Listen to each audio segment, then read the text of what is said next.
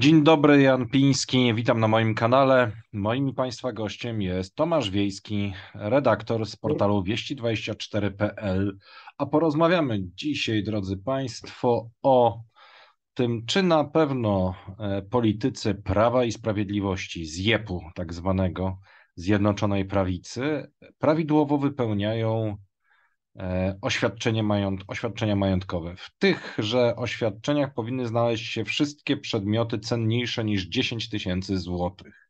Jakiś czas temu, kilka tygodni temu, redaktor wiejski na swoim profilu na Twitterze przyuważył posłankę Zalewską, byłą minister, która mm, miała jakiś drogi zegarek nieuwzględniony właśnie w oświadczeniu majątkowym. I tutaj panowie z obecnych służb ze śmiechem pogratulowali mi, nie wiedzieć czemu, e, imputując, iż e, to ja zachęciłem i przekazałem materiały redaktorowi wiejskiemu. Niemniejszym dementuję. Było to odkrycie e, prywatne redaktora i okazuje się, dało początek wielu późniejszym równorzędnym odkryciom, to znaczy to wydaje się być jakaś plaga, no właśnie plaga czego, panie redaktorze?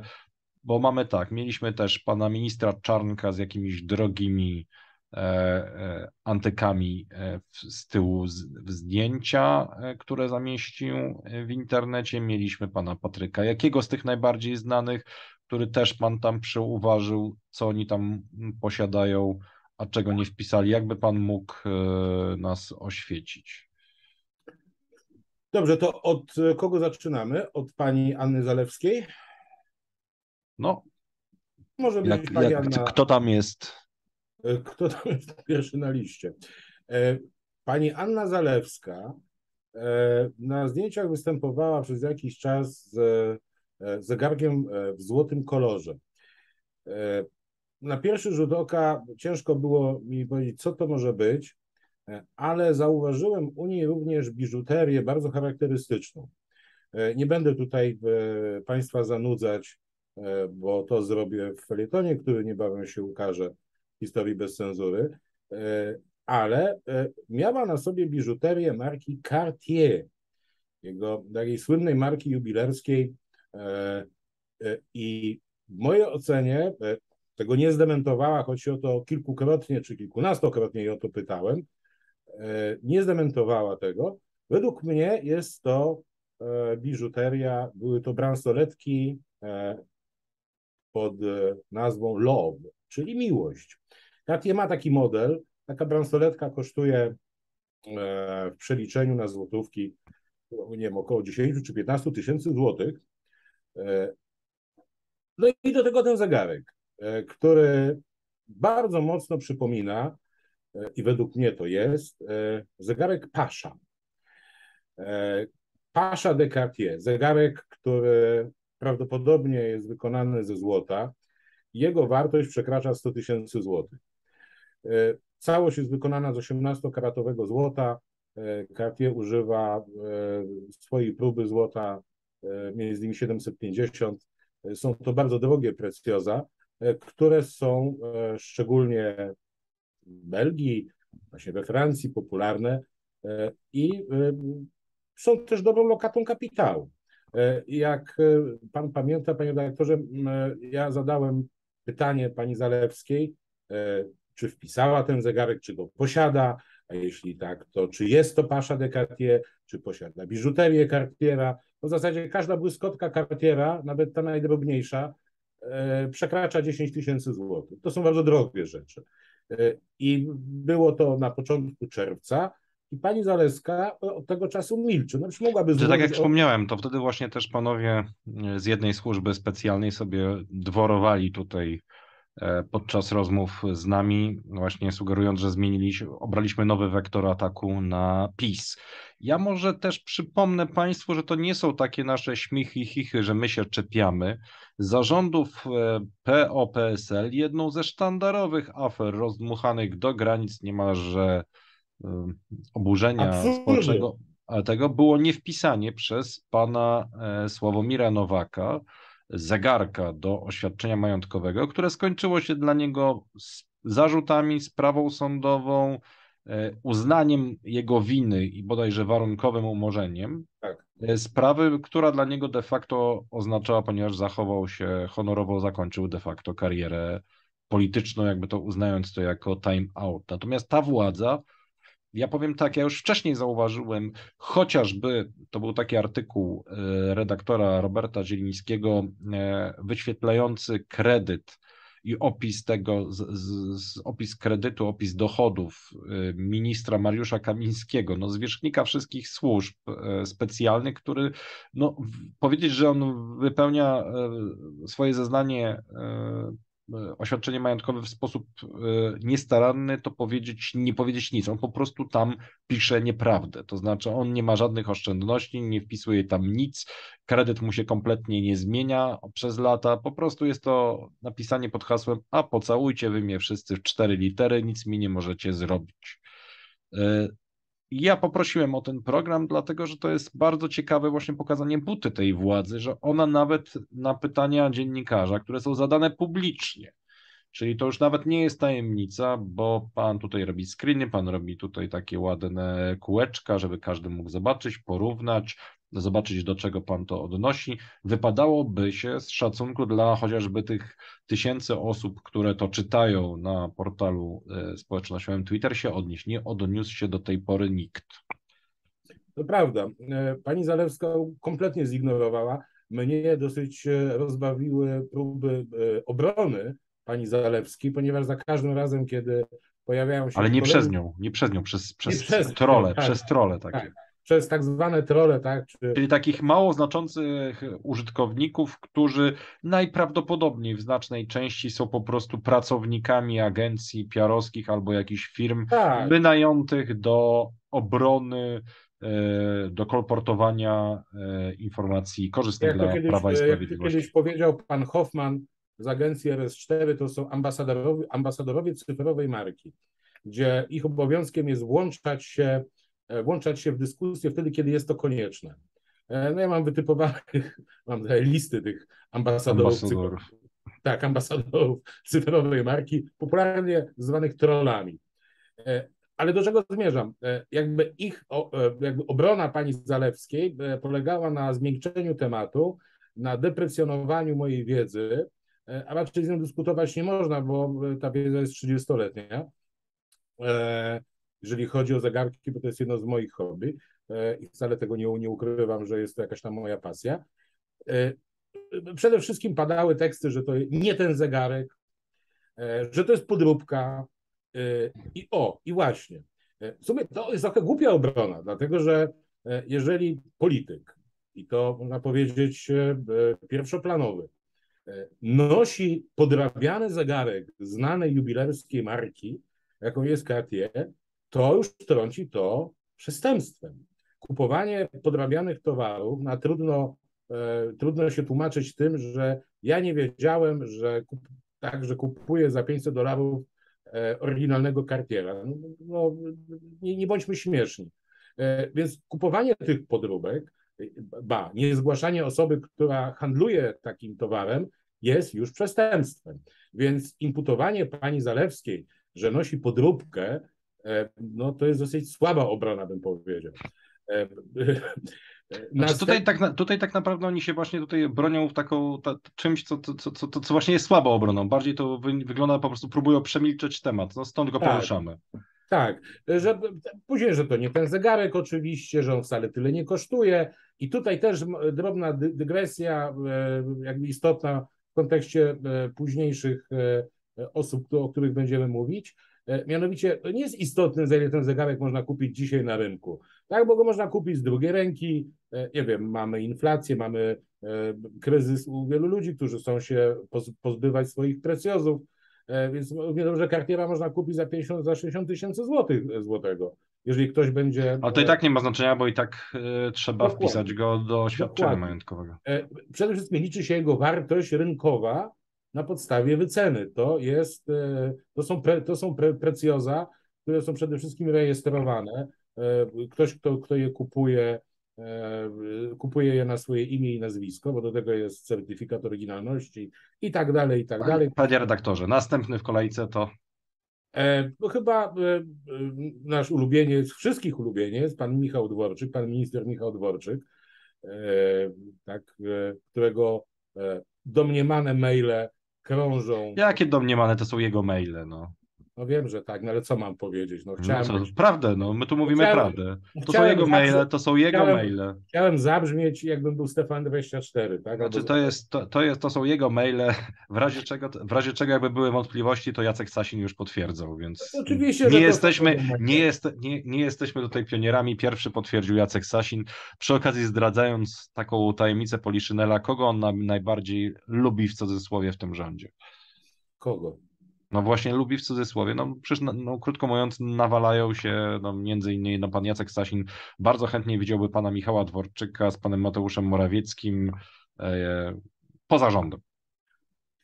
Pan Dworczyk na jednym ze zdjęć, zwróciło to moją uwagę, e, miał zegarek, e, zacząłem mu się przyglądać e, i wiele wskazywało, wskazuje na to, że jest to, że jest to Rolex Model Submariner. Wściekle drogi zegarek. Wściekle drogi.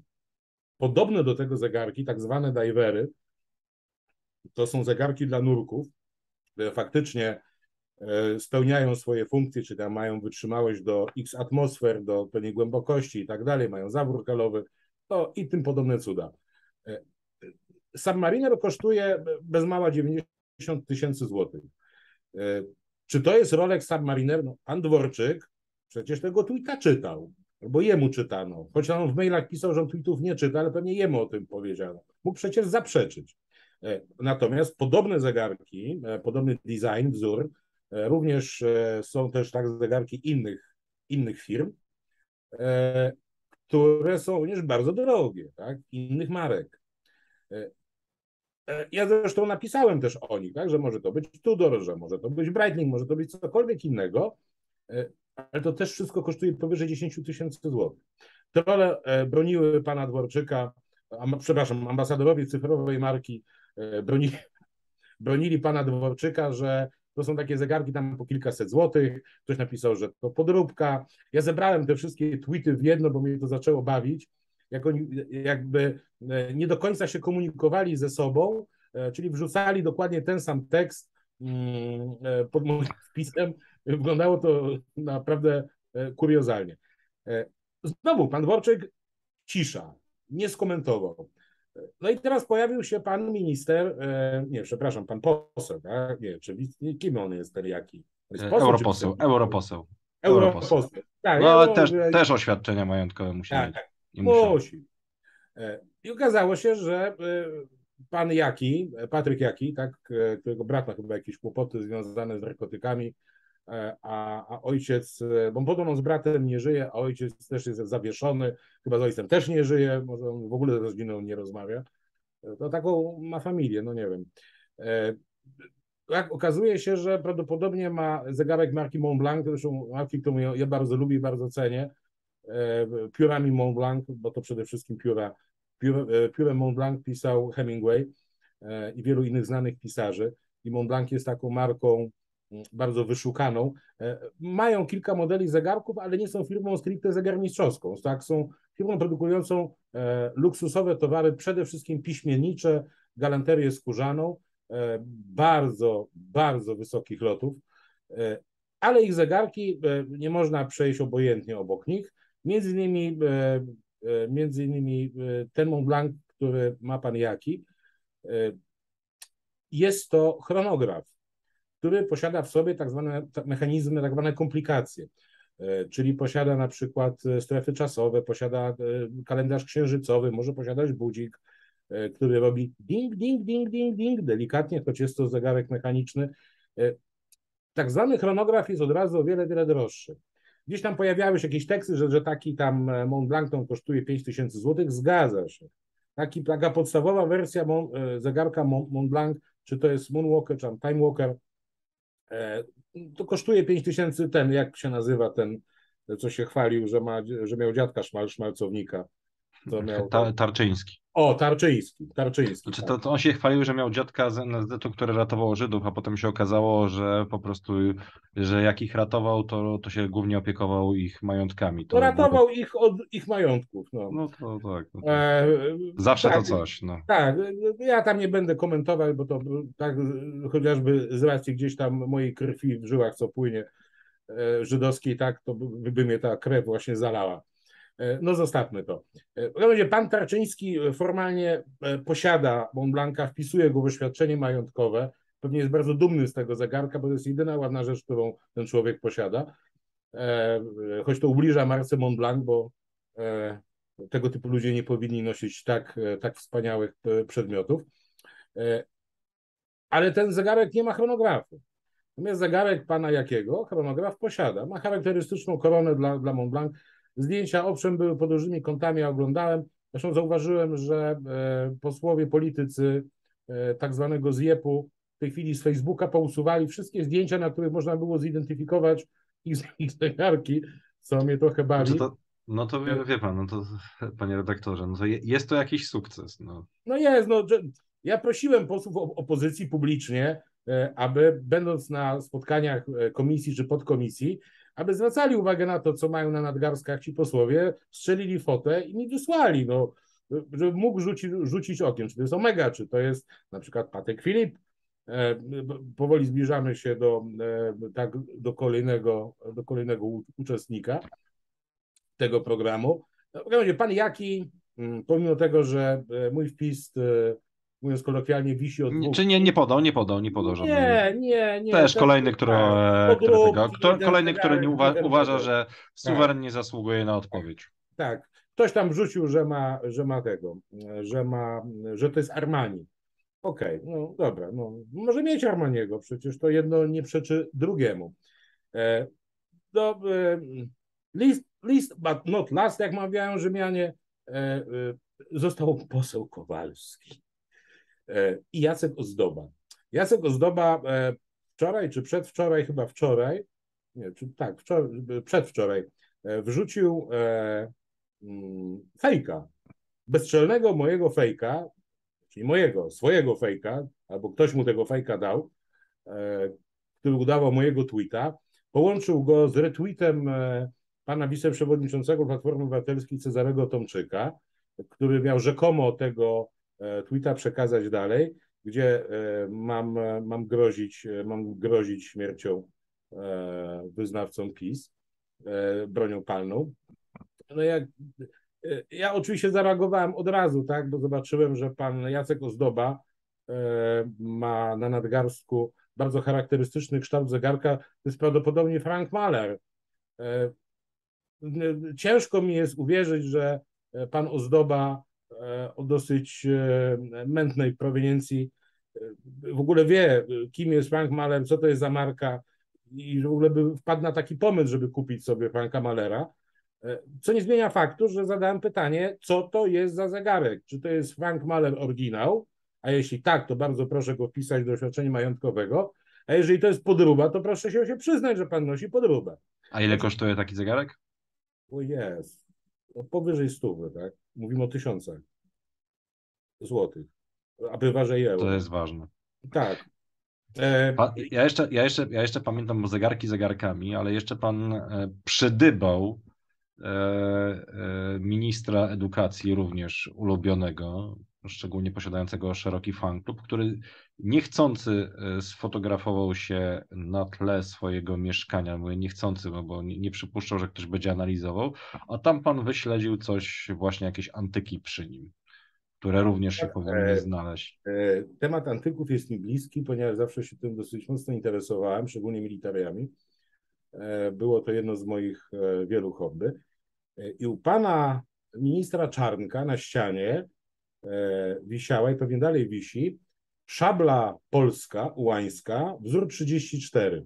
To jest bardzo szczególna szabla, przynajmniej dla mnie. Szabla, która popularnie zwana jest Ludwikówką, ponieważ przed wojną była e, produkowana w hucie e, Ludwików w Kielcach. E, Ta huta wygrała przetarg na dostarczenie dla Wojska Polskiego tych szabel. Wygrała ten przetarg, a naprawdę musiała się mocno starać, ponieważ, ponieważ wojsko postawiło bardzo poważne wymagania dotyczące jakości stali, poszczególnych składowych tej szabli, wytrzymałości i tak dalej, i tak dalej.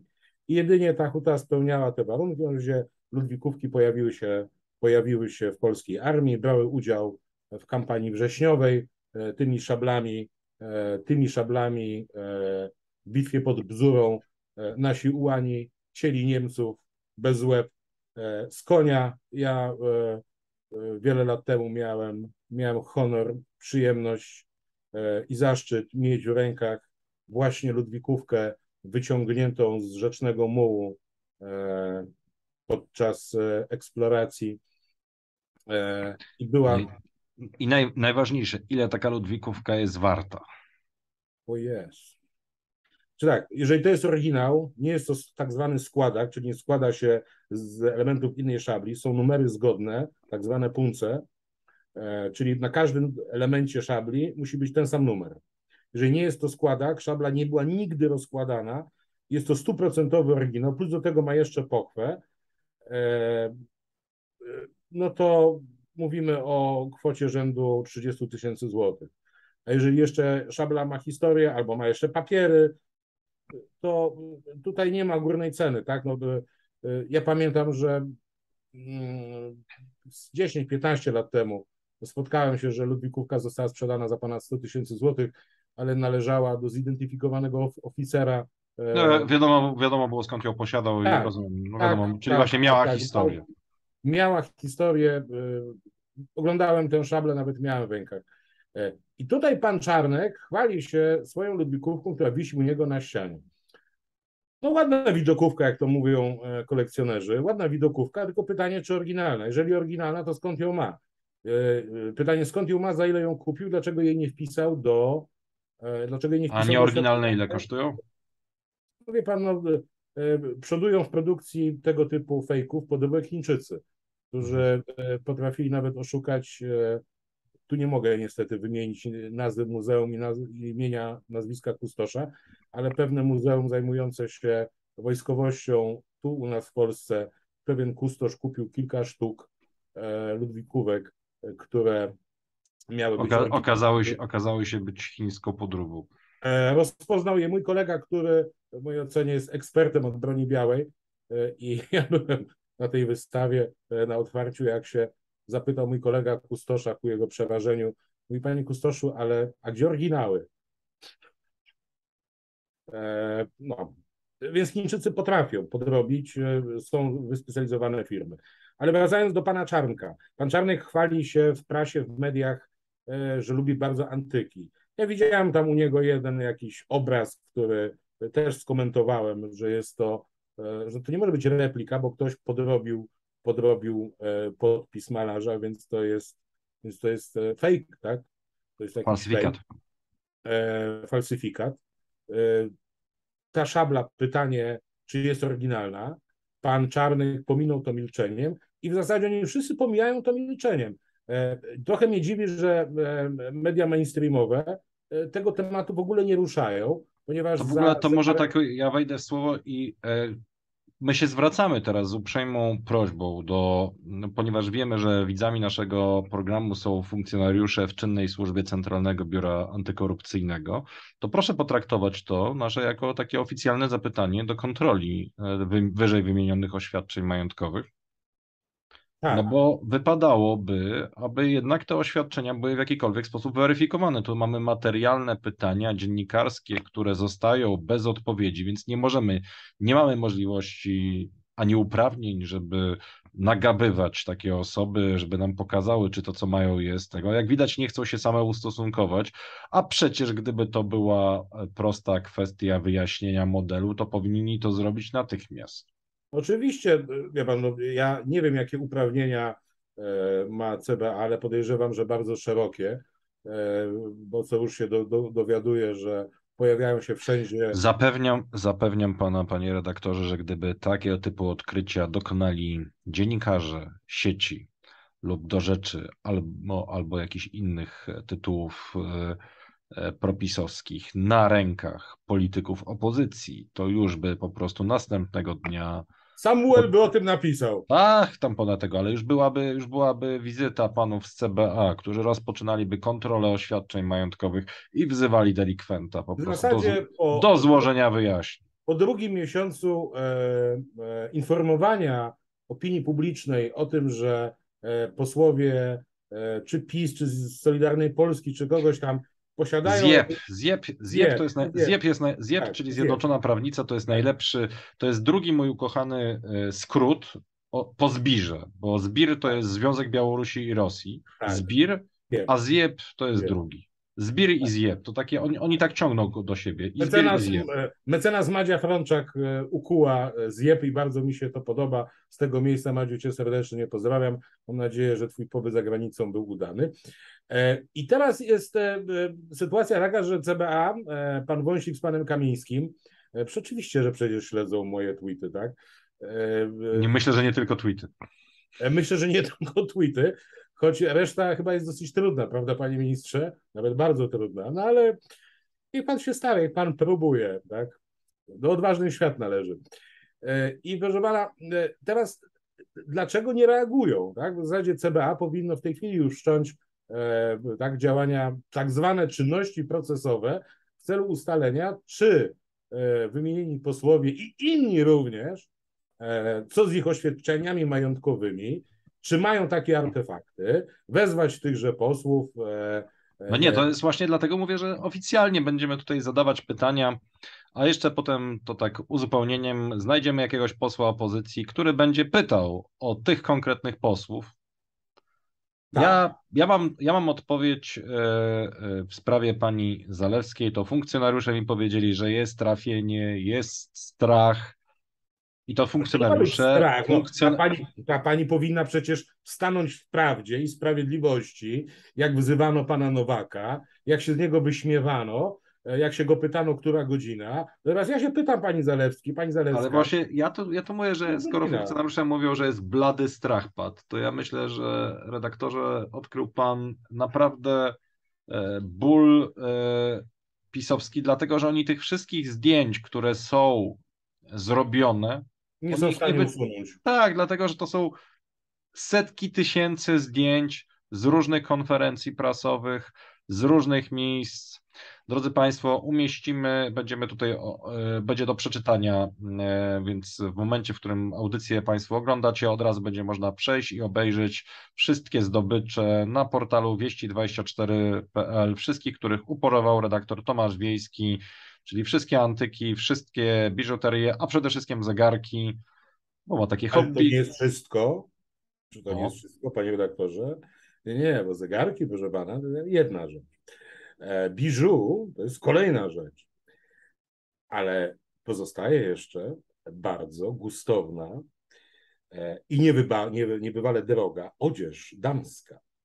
O. Pani poseł Anna Paluch, e, ta, która stwierdziła w, w, w rozmowie z dziennikarką, że wszystko jej pasuje w Polskim Ładzie i że w ogóle o co jej chodzi, e, wystąpiła w przepięknej sukience e, marki Versace.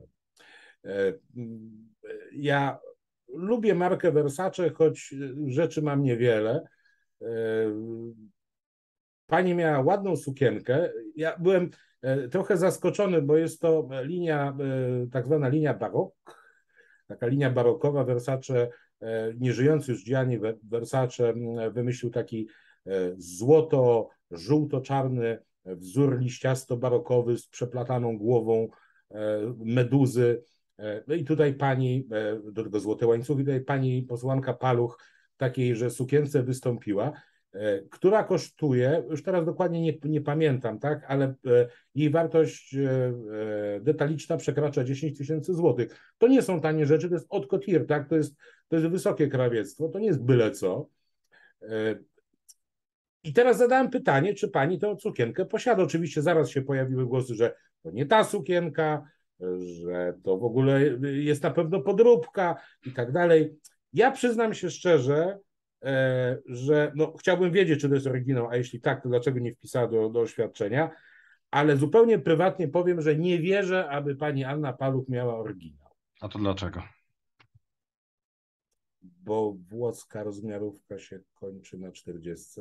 Ojej, ojej, ale to, ależ, to, ależ to był cios. Panie redaktorze, ja jeszcze pozwolę sobie zaprosić na nasz portal 2 i 224, gdzie czeka już artykuł e, złożony z tweetów e, redaktora wiejskiego, na których można sobie obejrzeć te wszystkie piękne rzeczy, o których pan redaktor napisał, a, a których nie zgłoszono w y, oświadczeniach majątkowych i nie chciano odpowiedzieć dziennikarzowi na pytanie, co to jest, ile to jest warte i czy powinno się było znaleźć w oświadczeniu majątkowym, a jeżeli nie, to dlaczego.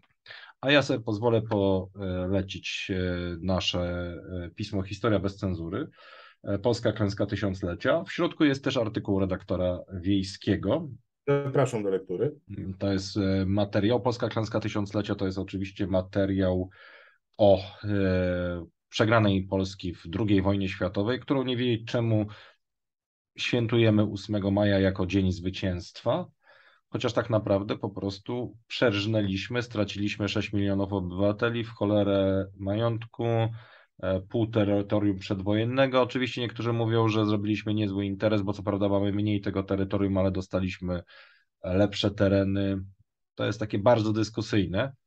Natomiast e, w każdym razie mm, to jest taki temat od 77 lat, który nie wybrzmiewa, bo jesteśmy skazywani na e, twierdzenie, że to był taki determinizm, że musieliśmy wejść do tej wojny w 1939 roku i musieliśmy dostać w cztery litery, nie ma nad czym deliberować. Jest, drodzy Państwo, to był efekt polityki, e, która od 13 lat była zdegenerowana, bo władza została pozbawiona demokratycznej weryfikacji i sanacja po prostu wplątała Polskę w wojnę z dwoma mocarstwami, wówczas największymi kontynentalnymi, z Niemcami i ze Związkiem Sowieckim. I to, że mogą sobie przypiąć, że nas napadnięto, to naprawdę jest marna pociecha szczególnie dla tych 6 milionów, co to nie przeżyło wojny i na, tych, na te miliony, które było sierotami, inwalidami i tak dalej. A oprócz tego w numerze na przykład fantastyczna historia Nikolasa Flamela, yy, alchemika znanego z powieści o Harrym Potterze, który był postacią historyczną i to można dowiedzieć się, kiedy żył, a kiedy nie żył. A oprócz tego, drodzy Państwo, pozwolę sobie yy, polecić yy, kanał na YouTube mojego brata Aleksandra Pińskiego, który zrobił materiał o tym, dlaczego Niemcy są tak bogate, a my nie. Bardzo polecam. ciekawe. Bardzo ciekawe oglądałem dzisiaj. Też polecam. Polecam. I do widzenia Państwu.